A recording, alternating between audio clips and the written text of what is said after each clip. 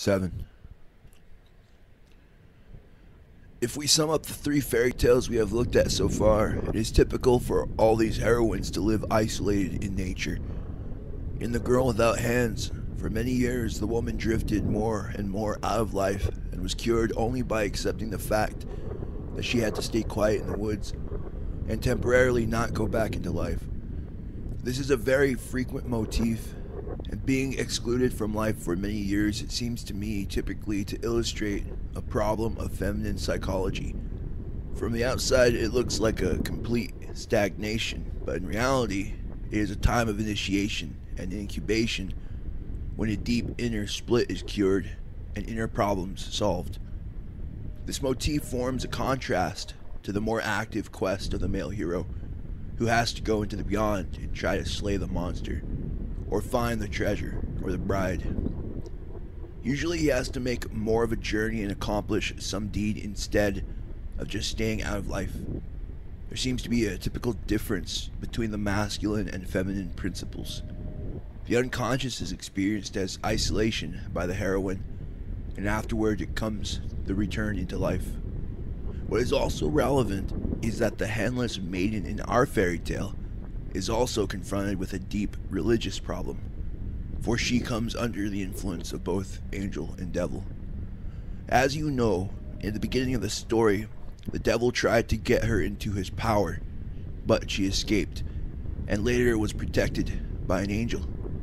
She comes under two divine influencers that of the dark side, the devil, and that of the angel as the messenger of God.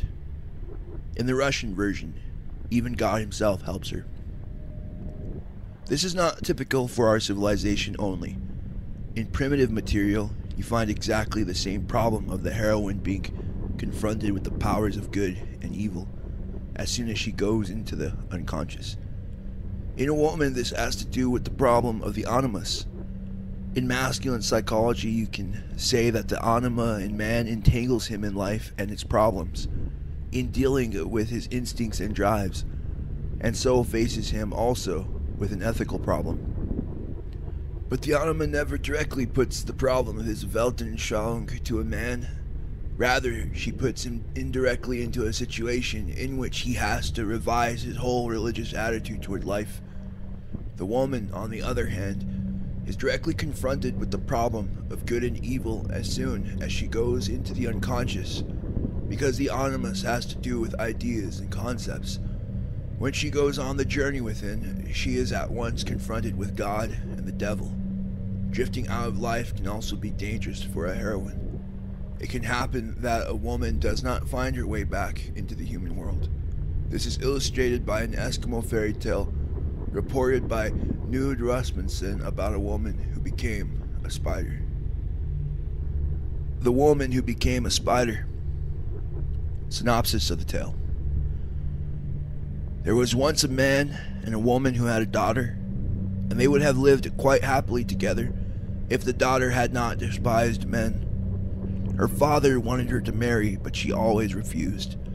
Many young men came of their own volition, for she was a beautiful girl. It also happened that the father would bring home young men in the evening so that they may meet his daughter, but nothing helped. The mere mention of men made the girl bad tempered, and if any came to the house, she went off on her own. One day, her father told her that he did not bring men to the house in order to make her sad or to hurt her, but that she should remember that they had no son, and that she was their only daughter and their only child. Her mother and he would soon be old, and for many years he would not be capable of providing them with food and clothing and who would help them in their old age if they had no son in law? These words made the girl very sad, and she wandered out into the great, uneven, undulating plains, on which were many small hills. Suddenly, a head jumped out of the earth among the hills, a head without a body, but the face was that of a very handsome man. And the young man smiled at the girl and said, You don't want to have a husband, but I come here to fetch you and you must know that I come of a big and powerful race. For the first time in her life, the young girl was happy with the young man, and she lifted up the head and put it carefully in her fur coat, and carried it home when it was dark. She slipped noiselessly into the house and put the head of the handsome young man beside her couch and lay there and talked gaily and happily with the stranger, whom she loved because he was not like other men. Her father awoke and heard the whispering and giggling from his daughter's couch and could not understand what was happening there. It was repeated during the coming nights, and the father was happy, for now he knew that at last he had a son in law and a hunter in the house. From now on, the girl was always happy. Formerly, she had stayed away from the village during the daytime so as to avoid the men, but now she often stayed at home and hardly ever moved from her couch. But the father and mother were very much surprised never to see their son in law. One day, when the girl was out, it happened that the father pushed aside the fur rug on her couch to find out who kept his daughter company during the night. When he found the living head of a handsome young man, a head without a body, he was very angry. He took a meat skewer and thrust it through the young man's eye and threw the head out into the rubbish heap, crying, I have no use for a son without a body who could not hunt for us when we are old. The head rolled away and went farther and farther over the plains in front of the house, and at last disappeared into the sea, leaving a bloody track behind it. The following night, the father and mother heard the girl crying and sobbing all through the night, and the next morning she asked where her husband was. The father answered that they had no use for such a son in law. You are talking stupidly and you have behaved foolishly, answered the girl, for he was a capable man and not an ordinary human being, and now I will no longer remain at home with you. The girl dressed and went out and followed the bloody track which led directly to the sea. She wanted to dive into the waves, but they were as hard as wood and she could not. Then she went inland looking for a white lemming which was supposed to have fallen down from heaven, for she knew the lemmings had special magic powers hidden in them. At last she caught one and threw it into the sea, and at once the waves parted and a road appeared which she followed to the bottom of the sea. In the distance, she noticed a little house. She ran to it and looked through the window and saw an old couple with their son. The son lay on a sleeping bench and had recently lost an eye. The girl called, Here I am, come out. The young man answered that he would not come out to her, and that he would no longer come after her, for her parents despised him even though the girl said she was never going back to her parents. The young man said he would never have anything more to do with her. The girl was very much depressed. Without knowing what she was doing, she ran three times around the house in the same direction as the sun circles around in the heavens. Then she saw two ways. One led straight ahead to the earth, and the second went up to heaven. She chose the way which led to heaven and when the man saw that, he cried out to her that she was going the wrong way and should turn around. That she was going up to heaven and would never come back again. It's all the same where I go, said the girl, if you won't live with me anymore. Now, the young man regretted his words, but too late begged her to come back, for she only went higher and higher up to heaven until she disappeared out of sight. The girl went on without knowing herself how she did it, and came at last to something that looked like a lid with a hole in it. But it was difficult to get to the hole, and she did not know how to get on. At last, she took courage and jumped and got hold of the edge and swung herself through the opening, and once more found air and heaven and land. A little to one side was a lake, to which she went and sat down so that she might die here and her body disintegrate. She didn't want to think anymore. Life no longer meant anything to her. Suddenly, she heard the splashing of oars on the lake and looked up and saw a man in a kayak. Everything he had his kayak, his oar, and his harpoon. Everything was of shining copper. The girl sat quite still and scarcely dared breathe. She did not think that anybody could see her in the deep grass in which she had hidden herself. the man sang. A woman's breath tempts a kayak who crosses the shining lake to caress soft cheeks. As the man finished his song, he raised one arm high up and toward heaven and dropped the other down toward the lake.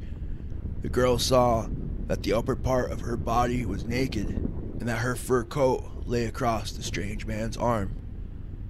Again, the man sang the song, and as he finished it and raised one arm and dropped the other, the rest of the woman's clothing flew over onto his raised arm. The girl sat there naked and ashamed and couldn't understand what was happening to her. For the third time, the man sang his song, but this time the girl lost consciousness. And when she came to herself, she was sitting beside the man in his kayak. The man rowed her far away with her, far over the lake with his bright copper oars, which glistened wetly in the air. They did not speak to each other until they came to a place where they saw two houses. At the entrance to the village was a big house, and in the background a small one. Then the man said in a stern voice, You must go into the big house, not into the little one. The girl did what the man told her and went into the big house, and the man rode away. It was dreary in the big house, not a soul was in it, but she had hardly entered before a small woman ran in she wore extraordinary clothing made out of the gut of a bearded seal. She cried out to the girl to come into the other house, for the man with whom she had come was dangerous and would kill her. The girl came out at once and went into the other house. Here, a little girl with whom the extraordinary woman dressed in gut skins lived sat on the sleeping bench. The young girl who had run away from the man she loved and no longer thought about anything much. Sometimes uh, she thought that she was already dead, but she heard what the others said and saw them go around the house. And the woman came and whispered to her that this time she was saved, but that the man with whom she had come was not an ordinary man, that nobody could resist him, and that soon he would come and would be very angry that she had left his house. But the woman would help her, and she gave her a small cask filled with water, in which were four small pieces of whaleskin. She told her that when the strange man came, she should hide at the entrance of the house and throw the pieces of whaleskin at his face, for the woman had sung a magic song over her present so as to make it strong.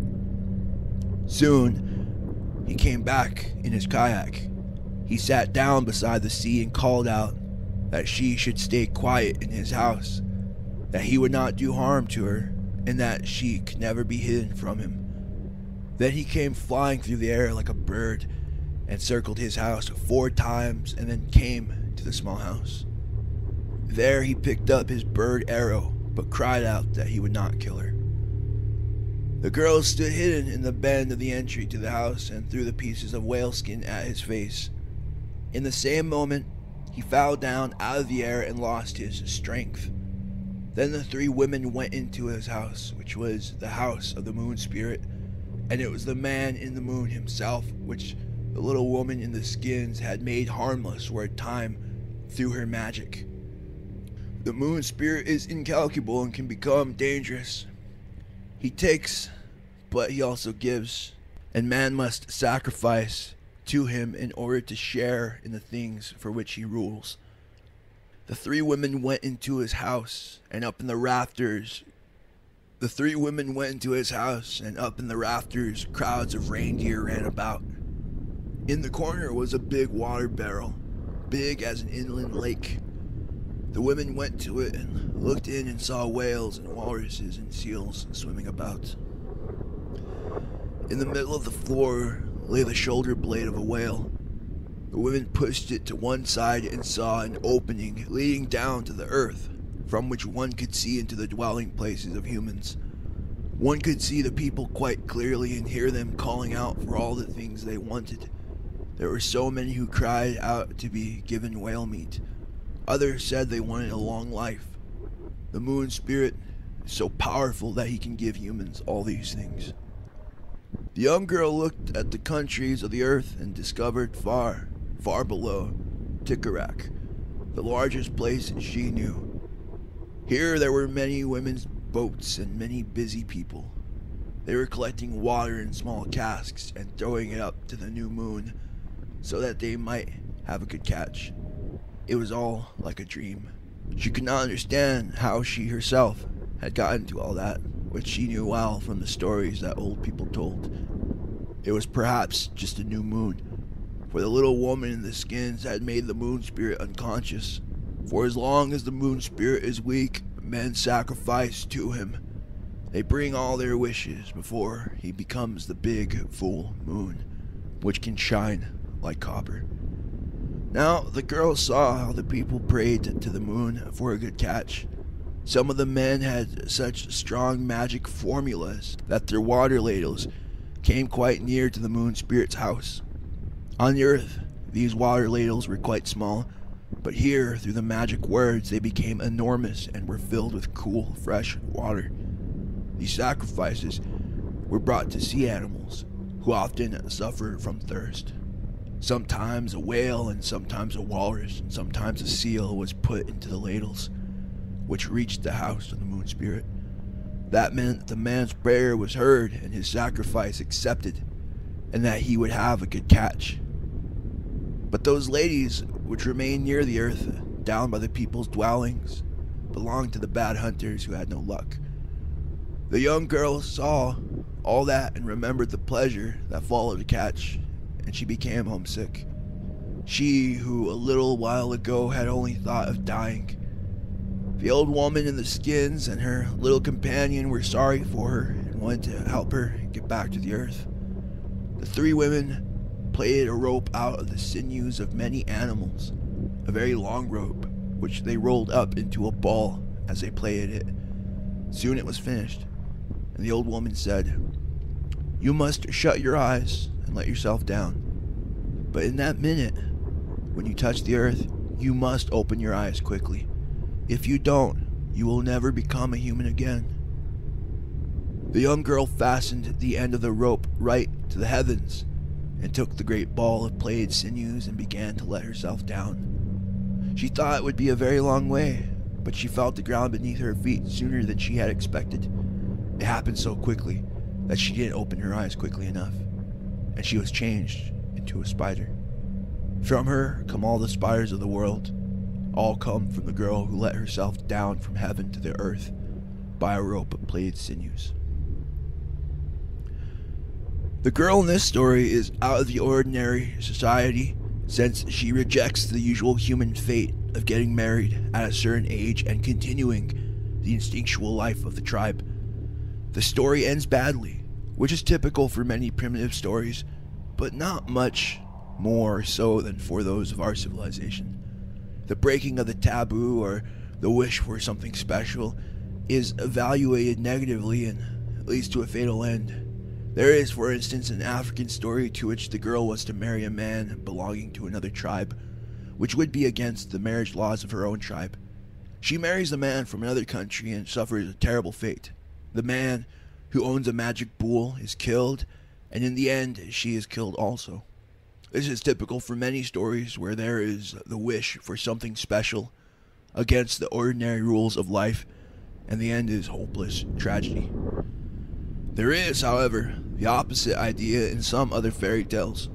For instance, in Amor and Psyche and the singing, soaring lion lark, in which the girl wants a special husband the father tells his three daughters that he is going on a journey and he asks them what he should bring them.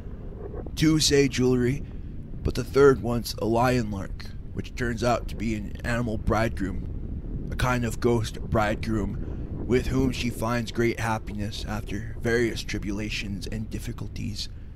Here we have the opposite pattern in which the girl's special wish, after a long journey and various complications, leads to a beautiful union with a marvelous kind of ghost bridegroom, and the whole story is told as a positive development. But in the Eskimo story, the special wish leads to destruction. The story did not necessarily have to go that way. When the girl came back to Earth, she did not open her eyes quickly enough, and that simple mistake makes the whole difference. The natural conclusion would be that had she opened her eyes at the right time, she would have become a kind of shaman priestess who would have known about the mysteries of the beyond through her own experiences and could have told her tribe all about the things on the other side and would have acquired the reputation of a great shamaness. The woman who knows and who has had a personal experience of the collective unconscious. The initiated person who, through her special experiences, would know what was happening in the unconscious. It is only this minor mistake of not opening her eyes quickly enough when she returns to Earth which gives the story the negative outcome. Interpreted psychologically, it seems that if there is a situation in which consciousness is too weak, the experience of the unconscious turns negative instead of positive. The great problem, and something we always have to keep in mind in psychological work, is whether the analysand's consciousness, or the substance of his personality, something we can feel but cannot describe, is strong enough to carry the experience of the collective unconscious. Some people are confronted with amazing experiences of the unconscious, even of the collective unconscious, but on account of a certain feebleness of reaction, they have no positive results from the experience. In the case of schizophrenics, nothing results from even the deepest experience. At the crucial moment where the material should be integrated, nothing happens. I remember once, for example, talking to a Polish Mexican peasant woman in the Napa Valley State Hospital in California. She was good looking, middle aged. Uh, she sometimes produced the most astounding archetypal material from the collective unconscious, and unlike most schizophrenics, was pleased if she had a chance to talk about it. She had a kind of uh, manic streak in her. When I met her, she immediately began to tell me what God and Jesus Christ had looked like when she had been on the moon and seen the heavens. It was quite interesting, but she had no connection with it. She told these things with great feeling, but was quite absent herself. She was just spinning like a spider who let out a thread and runs up and down on it. She went along with her own thread and was not human. One felt that there was nobody there to whom one could talk. In such a case, one feels as though one were confronted with a vacuum. There is astonishing and interesting material, but nothing human to it. The Spider Woman told the girl in the story to keep her eyes shut until she reached the earth. The journey to the earth was no great distance, and it does not seem that she had kept her eyes shut through fear. It is more likely that she did not want to face the return to reality. It might be a great come down to be once more, in reality, having been married to the moon god. I knew of a very poor, miserable man whose mother was a whore and father a drunkard, and who went off his head and was put into the hospital with the most serious cases. A good doctor treated the case and got him into a relatively normal condition so that he could work in the fields. Seemed completely adapted and was put into the ward with the least mad patients. Then the doctor started talking to him very discreetly about leaving the hospital, and the man said, Oh no, doctor, you are not going to catch me and off he went back into the worst ward and was as mad as before. He did not want to open his eyes and return to Earth, where he had had such a miserable life. After his great experiences, he did not wish to become normal again. There is very often such a tendency in people who do not want to come back, and there is a certain amount of conscious decision about it. For return to the misery of this world is a poor substitute for marriage to a ghost and the moon god. Also, in the case of the Polish woman, I had the feeling that she was happy in her madness. She liked to clean the floors of the hospital, where she was quite free and worked very well. Neither do I think she was not humble enough to return to human life. She was just asleep. She was like a rabbit, which sleeps with its eyes open. And the intuitive feeling one had about her was just like that a human being who was asleep, in spite of the fervor with which she related her experiences. Everybody in the hospital liked her, and you could ask her to tell you a story any time. She would spin an archetypal yarn and then walk off again. She was a spinster, that's where the word comes from, or a spider who did not open her eyes unto this world. The head people, according to the circumpolar tribes, are the people who lived under the sea, ghosts consisting only of a head. Certain African tribes who believe that there are head people, ghosts who roll about as bodiless heads. They are considered rather dangerous and are used for magic purposes. They constitute a powerful population under the earth or the sea and are supposed to be the spirits of the dead, the pure essence of the dead contained in the head. Sometimes they are the skull and sometimes the head people. The girl is attracted to the ghost instead of a human bridegroom and is very happy with him. It is a marvelous illustration of what we so dryly and technically express as animus possession, which is an abstract formula meaning that the woman is married to a head bridegroom and unattainable and unapproachable on the human side. She is in constant conversation with this autonomous spiritual factor, with whom she has long inner conversations. If one could watch oneself when in an animus possessed state, which one cannot, one would see, as one does in another woman, that one is constantly engaged in an inner conversation, thinking about and discussing things that one cannot tell other people. One cannot interrupt it, for it is completely involuntary. There is no Archimedean point outside from which the thing can be viewed. Only the onlooker notices that the anima possessed woman is linked up in conversation with an inner spiritual process. She is so in it that she cannot see it. That is why such women appear not to be quite there, and as though they had something up their sleeve, for they keep something to themselves. The head is a wonderful image of the animus, with its opinions and musings going on all the time. In this case, the father hears the head husband talking, which is what often happens. Animus possession is especially irritating for a real man, a human bridegroom who would have killed or hurt the head. It has an automatically irritating effect on the living man who cannot stand this process going on in a woman. You can see this in life when a girl begins to have her own ideas. The father hears his daughters arguing and feels the animus growing, and having disliked and loathed that in his wife and in other women when she too begins, he comes down on it. It is an age old tragedy that the beginnings of mental activities in the daughters are smashed or doomed by the father's reactions. Many women are seriously lamed on the spiritual and mental side in their work because the father, in a bad moment, had told him they could not do something.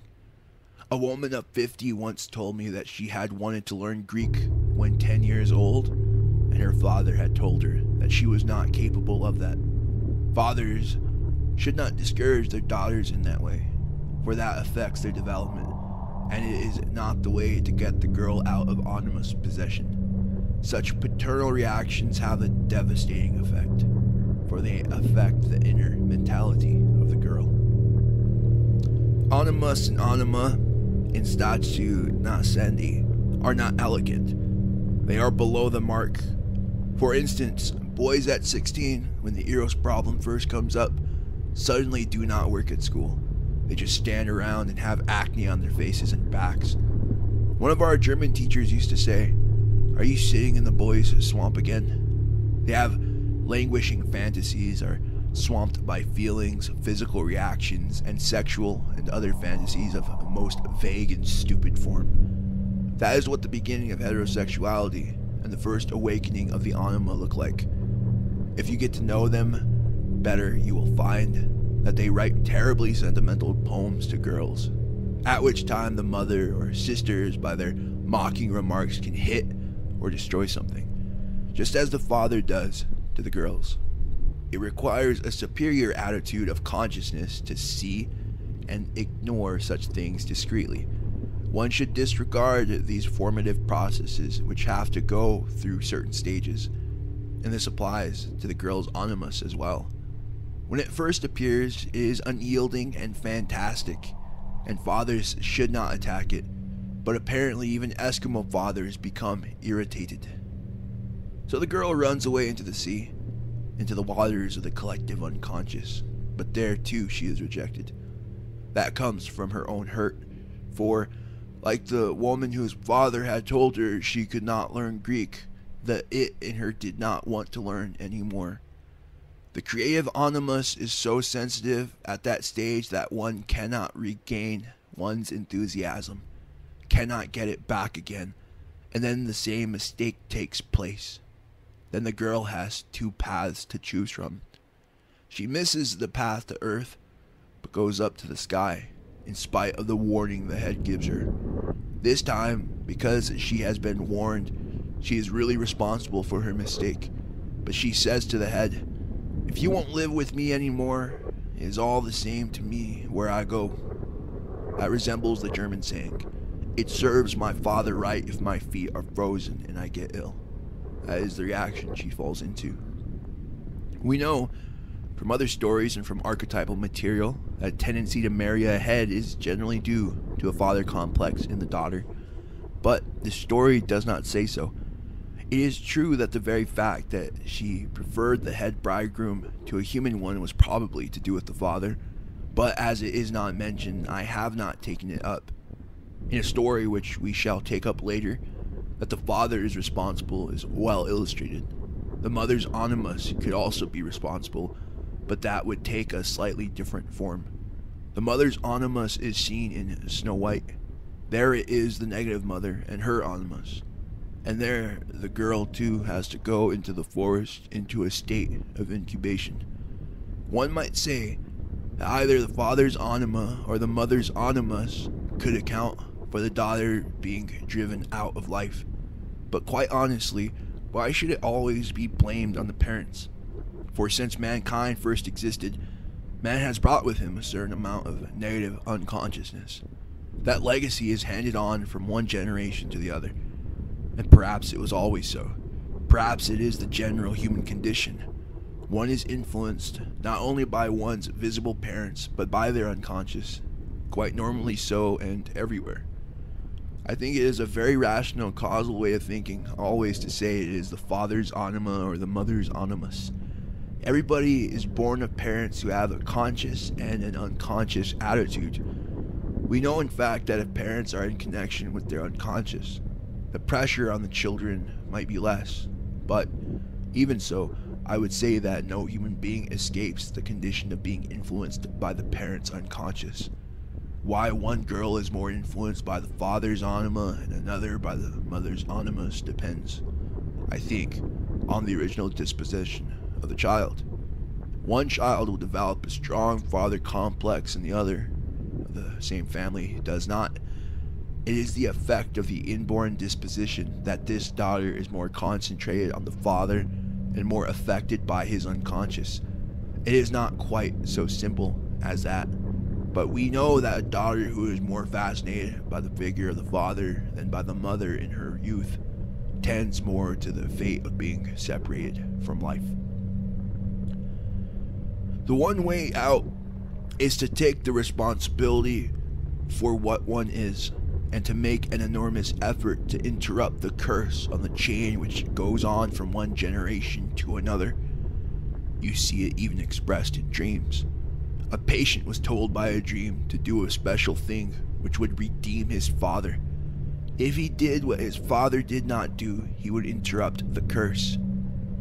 I knew a man who had never stood up against his mother's moods and was under the domination of his wife, whom he let do everything in order to have peace and a pleasant atmosphere.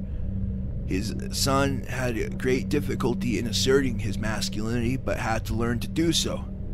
He married a girl with a rather powerful animus, and the situation repeated itself. For even in the first months of marriage, she wanted her own way, and he had to stand up for things, and the battle started again. He dreamed several times that he should redeem his dead father, that is, what his father had not done, he should now do. He had the responsibility of not continuing the same curse, otherwise, his child would have the same problem. He had to stop the process of the ancestral curse, which in dreams was expressed by saying that he had to redeem his ancestors. The one who had to become conscious is the one who had to stop the curse that went on through the generations. As mentioned before, one has also to consider the inborn disposition of the child, which either accepts or rejects the parental influence. One child, if told by her father that she would never be able to learn Greek, would say, I'll show you. It need not necessarily be as it was in the case of the woman mentioned. Already within herself was a thing which lamed her, so that long after the father had died, she could not learn Greek. Whatever she tried to do, a voice said, You are not capable of that. She had the kind of animus that prevents every kind of development by discouraging thoughts. One could say that the father stepped into the trap of her expectations. It can happen that people have such a powerful complex that lays traps for you, and if you are not very conscious, you fall into them. For instance, I do not tend to cheat or send analysand's bills for the wrong accounts, but I once had a woman whose mother had always cheated her over money, and believe it or not, I sent the woman a bill for more than she owed me. Naturally, that constellated the whole drama, and I sat there flabbergasted. If you are not on guard in such a case, you can get pushed into the role of father or mother. One has to watch out day and night not to be caught, because if one is not sufficiently aware of one's own shadow, the analysands' complexes will force one to act in their pattern. It has such a collective effect that one is not quite conscious. All analysands try to push the analyst into their ancestral pattern. So it might be that the child's disposition invites the parent's reactions. The modern medical outlook of a causal relation of facts only is not a true evaluation, but a typical superstition in our civilization, which does not correspond to the facts if one looks at them more closely. The girl in our story goes up to heaven through a hole. Such a description is typical for the Eskimos, who think of heaven as being just as the same as the earth a mirror image of this earth, and where the moon god lives. The moon god is another beautiful ominous figure, but different from the head in the sea because he is not a single ghost of a dead person, but the generally recognized god of the tribe. A god to whom the Eskimos do not show much love, but to whom they pray for luck in hunting. When it is a question of survival, everything depends on a good catch and he is therefore a god of fertility and the bestower of life. This is interesting because people who have not gone into the details of mythological study tend to think that the male god principle has always to do with the spiritual, and that the mother goddess has always to do with the fertility of crops and animals and so forth. In many Eskimo tribes, the bestower of food is a feminine goddess. For instance, Sedna, who lives at the bottom of the sea, and whom the shamans have to visit to rid her hair of lice or heal some wound, after which they will be lucky again, is such a goddess. Sometimes a woman goddess bestows the fertility of nature, but here it is a male god who has that function. One must not fall into a schematical way of thinking and say that the moon is feminine and that the goddess of fertility is a mother goddess. Even in Roman times, the moon god was hermaphroditic. There existed a North African ithyphallic moon god. Also, in the old Egyptian civilization, the moon god Min had an enormous erect phallus and was a god of fertility in all realms. His animal was the bull. So the moon is not always feminine, but it is a nature god and a spirit of fertility. You could therefore say that the essence of the idea of earthly fertility could be attributed to a feminine or to a masculine principle. One has to look at the whole context of the culture to find out why it is so. In China, in Polynesia, and in most of the Indian mythologies, they speak of our mother the earth and our father the sky. But in Egypt, it is the opposite. Geb, the earth principle, is a male god, and Nut, the sky goddess, is female. Now, how is the Egyptian civilization different from most others? In the Egyptian civilization, the concreteness of ideas is very striking. Like all peoples, for instance, The Egyptians hoped for immortality, but only in Egypt has the idea been expressed by such a material preservation of the body. They tried to guarantee immortality by immortalizing the body. What in other civilizations is a, more a concept and a vision has become something quite concrete in Egypt. This fact also struck the Greeks. In Egypt, the statues of the gods require renewal, so they were actually carried by the Nile and they were washed and oiled. What normally belongs to the spirit or the mind world in Egypt belongs to the earth.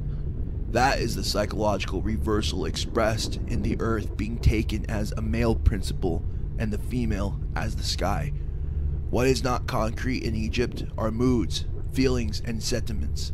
They have a spiritual connotation. Now, what would it mean if the principle of fertility were masculine instead of feminine? If the nature principle were masculine, what kind of attitude toward life would one expect? I think there would be a compensatory kind of passivity toward nature. To an active hunter, the wood or the sea with their animals is a simile for the woman. He penetrates nature and enters it and gets nourishment there. He needs, of course, charm and luck. But in the penetration of the hunting ground, he has the feeling of active life. In such a case, the thou in nature is a woman. Nature is felt to be irrational, is loved and hated as a woman, and as regarded as tricky and cruel and unreliable like a woman, and the fertility and food bestower is therefore a goddess. But on the contrary, men who have the introverted feeling attitude and do not believe in doing things, or if they do them, do not feel that it is the essential thing, will experience nature more as an active male principle of life and themselves as recipients of its gifts. In this tribe, they pray to the moon by throwing up ladles, a feminine symbol. They want to receive passively. To go out in the kayaks with harpoons is a minor thing, for it is the mysterious something in nature which sends the animals and fish and reindeer. The hunter is the wife, the woman, and nature sends the animal if a woman dreams about the moon god, that indicates her feelings vis a vis the unconscious. She is passive and cannot realize that she could do something. The unconscious is something active which affects her, and she only asks for something. The story then tells that when the moon god faints through the magic of the Spider Woman, it is the moment of the new moon. We can guess from the story that this passing out of the moon god happens quite regularly, and that the Spider Woman is the great power that makes the moon wane. So the girl gets into this play of opposites between the moon and the Spider Woman, the feminine and the masculine. The spider here is benevolent, and the moon god is a kind of moody creator. The Spider Woman is a symbol of the self for a woman, a positive and stronger figure than the moon. In spite of this, seen from the side of feminine psychology and as helping the girl against the destructive Animus, who is a kind of Bluebeard, the girl cannot escape back to Earth because of her inborn weakness and her inability to open her eyes. This theme belongs to many stories and is common in primitive civilizations where the process of individuation goes on in a kind of sleepy lethargy, and unawareness. But we have to keep this in mind. For though we talk about primitive people, we have in some layers of our own populations the same kind of person. Unawakened, animal like people who cannot go into the unconscious or become conscious, and for whom any contact with the unconscious is only destructive. Such people must be kept out of analysis. Beginners make a big mistake there because these people produce wonderful and archetypal material. And naturally, if one looks at the material alone, one can think that it is something exceptional. But one should not forget to look at the person and see whose dreams and visions they are, and whether there is any possibility of even a partial integration of the material. Sometimes one discovers that there is no possibility of such a thing, and that one cannot lead such people on the path of individuation. You may ask whether it depends on the analyst's arbitrary judgment, whether he thinks somebody's suitable or not. but it is the material itself which will show. The impossibility for the process of individuation to come about is to be found in the little details of the material. So you have to interpret the smallest detail in dreams most carefully in order to be able to decide. In this story, there are two such details. One is when the girl misses the right path, and the other when she opens her eyes a minute too late. In these two details, the story deviates from the normal pattern of a shamanistic journey, which is the pattern of initiation. In Mircea Eliade's book on shamanism, one can see that in all the circumpolar tribes, the shamans are initiated through experiences such as are related in our story. The shaman climbs a cord to heaven and then returns by means of it to earth. Afterward, he carries the cord as a sign of his connection with the other world. They see the rituals from above and get initiated through what happens there. Our heroine experiences a classical shaman initiation, but it fails. The Eskimos believe that crazy possessed people and the shaman are the same, except that the latter can free themselves again. Possession and mental illness and being a shaman are very close, but there are definite criteria as to which is which. Going up to heaven, meeting the spider, getting the four pieces of whale skin, and so forth could well appear in a person's material, but yet he could not go on the path of individuation. In the beginning of the analysis, when one has not yet made a diagnosis to whether one is faced with a psychosis or with somebody simply overwhelmed by the unconscious, the dreams can look just the same. I have seen initial dreams which said that the sea flooded the whole land. That could be psychotic, or that graves opened up and corpses rolled around and came alive. That could also be psychotic. Actually, the unconscious only shows that the collective unconscious is absolutely on top of this person. But you can only say that this is a state which looks psychotic, though it is not necessarily so. But if it is, that will show up in the poverty of the reaction toward the material. The lack of vitality and the reaction to such a motif will show either an extreme stupidity or an entire absence of reaction. That is where you can find traces of a possible psychosis. If you see that, you cannot go with the analysand into the unconscious.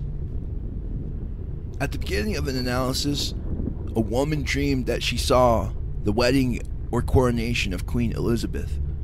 The dreamer was in a strange medieval town where the wedding took place and was milling around among excited crowds in the streets.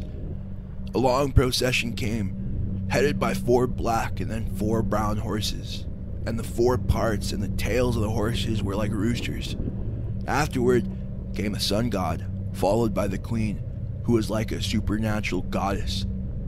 Then came numbers of elephants and lions and so on. The dreamer was then back in the crowd and had to find a place from which to see the procession, and then realized that she had not cleaned her shoes and must do so. But then an infantile shadow figure came up and diverted her attention, and the dream ended.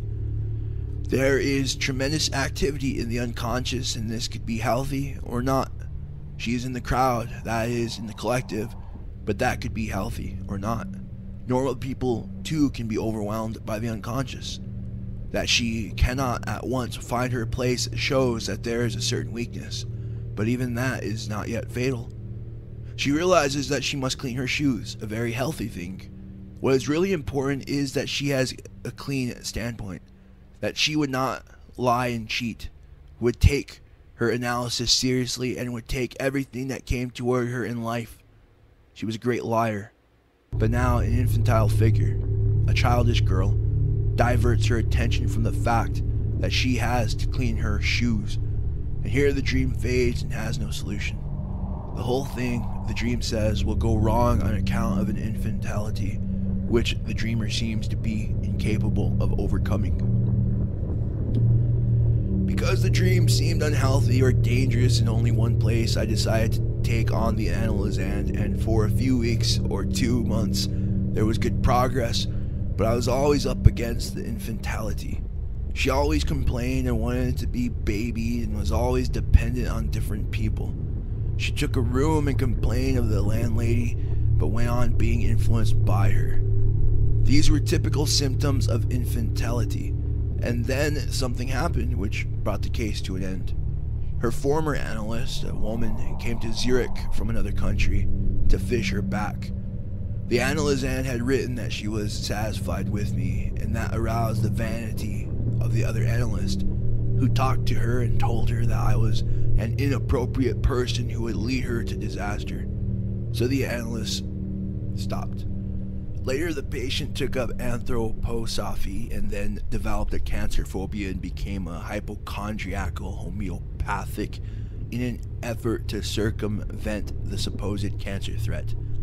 Finally, she wrote to me that she would like to work with me again, saying that she realized that she had done something stupid and accusing the other analyst as though she could not have resisted that interference. She said that she would come one day again but I have heard nothing since.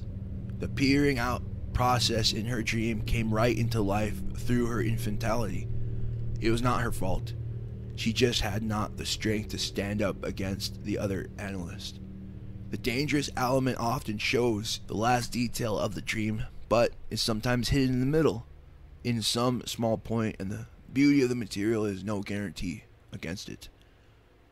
This is a classical initiation dream but it goes wrong, and as the Eskimo story says, it is because of the weakness of the personality. This woman was a primitive peasant girl, and she was not mature enough to swing it. Does not mean that people coming from a primitive layer cannot do it. Nature is aristocratic, but her system of aristocracy is different from our social ideas and goes through the layers of society. It's very important to have the right feeling about this, as otherwise one lures people into a process which they cannot carry. Jung mentions a dream in the Children's Dreams seminar in which a little girl who later became schizophrenic dreamed that Jack Frost touched her stomach. Jung said that the pathological element here was that the girl had no reaction. If the dreamer had woken up frightened, or if she had just said, Then I woke up, that would have been equivalent to a reaction. But Jack Frost, the personified winter, came and touched her, and there was no affect. Sometimes people wake up with a cry, which is a vital reaction and a kind of lysis. Such a dream has a shock effect, but the amazing thing in the child's dream is that it has not even a shock effect. Jack Frost is a demon of the cold who should inspire fear. It is typical for schizophrenics that they will tell horrible dreams without any emotion. They speak of them as though they were rolls at breakfast and cups of coffee. That is a serious symptom. Or very often, when there is a latent psychosis, there is a very narrow minded rationalism which absolutely refuses a symbolic interpretation of dreams. Jung had observed that extreme narrow mindedness can be a symptom of psychosis. Such narrow mindedness cannot understand symbols. I knew a psychotic case in which the woman had a compulsion. She always fastened papers together with clips. I asked her why, and she said that one day the window might be open and the wind might blow in and cause confusion. That was highly symbolic. The wind is the spirit of the unconscious, and one day that would blow in and she might never get out of her mental confusion again so she pinned everything down. She was caught in a very narrow minded, limited attitude about everything, a pure defensive mechanism. Such people have no spirit of adventure. They are frightened and caught by rationalism. Stinginess can be the same, it expresses the same thing. One cannot let go, cannot risk. One must keep everything together because the frame might break loose at any minute Thus, the poverty of reactions is more important to watch than the symbolism itself. It indicates either a morbid disposition or, as in our story, a primitiveness which prevents any further inner development. The heroine returns to Earth in the form of a spider. If she had kept her human body, she would have fallen to her death. So the Spider Woman turns her into a spider. The Spider Woman is a great mother figure who appears here in a benevolent form. Within the psyche of a woman, she represents the self. In Zuni mythology, there also occurs a Spider Woman who lives in the confines of the earth. She is sometimes helpful and sometimes dangerous to man. In Hindu mythology, the spider is symbolic of a form of the goddess Maya, who represents that mysterious factor which makes us believe that the outer material world is the reality. The Hindu saint tries to overcome this delusion and thus transcend the world. In folklore, the spider is often considered to be a witch animal because of its shrewd way of trapping its prey. As the Maya aspect revealed, the spider is connected with the source of creative fantasy in the unconscious psyche. A woman who had to turn within and leaving outer activities had to develop her creativity had the following dream. I was in a prison, a dark, gloomy place. I received a parcel from whom I didn't know, but I knew that in that little white box was a spider. I wasn't sure if it was poisonous or not. I thought I must feed it through a little hole in the top of the box. I put a crumb in. That spider was God. A prison symbolizes the introversion which was forced upon her, but which she did not yet like. There she received a gift from the unconscious the little white box with the spider. Then comes the surprising last sentence The spider is God. The creative kernel at the bottom of the human psyche is nothing more or less than the presence of the divinity. This divine center spins, so to speak, the consistent thread of fate along which we move. That is what the Spider Woman teaches the heroine in our story to do. With the help of this thread, she can return to the earth, but then she does not open her eyes and, as a consequence, remains a spider forever. She gets stuck in the inner world of fantasy and cannot return into human society. Viewed from outside, this could mean plain madness or only a mild case of remaining isolated and odd.